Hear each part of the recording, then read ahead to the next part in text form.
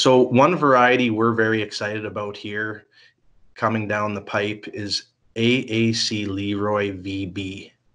And why we're excited about that variety is it touches on four or five of those characteristics that we feel are important to growers. Uh, one being yield. It looks like LeRoy is the next step up in yield compared to what's already in the market and what's popular in this growing area. So that's exciting. Uh, the next one being disease package. It looks like LeRoy has an MR rating for most of the major diseases that we're seeing up here fusarium head blight, leaf disease, and rusts. So anytime you can get an MR or at the top end of that disease package, that's that's important for for wheat growers.